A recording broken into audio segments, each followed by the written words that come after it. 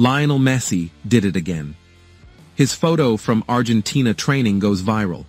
Messi demonstrated a technique that brought back fond memories of a historic goal. The Argentina national team concluded its second training session at Ezeiza in preparation for upcoming matches against Uruguay and Brazil in the South American World Cup qualifiers. The training session, which was open to the press, drew considerable attention to the team's star player, Lionel Messi. The footballing icon showcased impeccable physical condition, displaying no signs of the recent injury that had affected both his national team and Inter-Miami performances. Remarkably, Messi's resilience prevailed, leading him to secure his eighth Ballon d'Or, a feat that few thought possible after the difficulty of his seasons with Paris Saint-Germain. During the practice, Messi exhibited exceptional confidence, scoring a remarkable goal in a small-sided football game.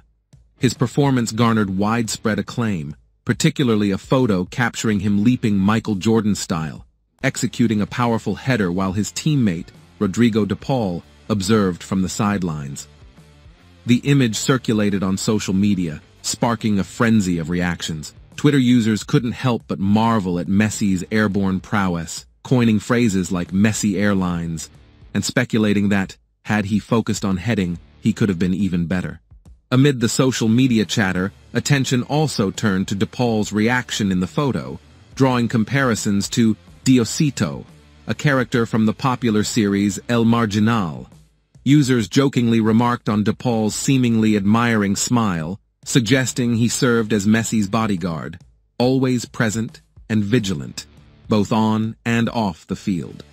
DePaul making sure the mosquitoes don't come close to bother the goat, were the thoughts of one Twitter user. Overall, the photo has gone viral and become somewhat of a symbol of Messi's enduring excellence and the camaraderie within the Argentine national team at present as they look to build towards defending their World Cup trophy in 2026.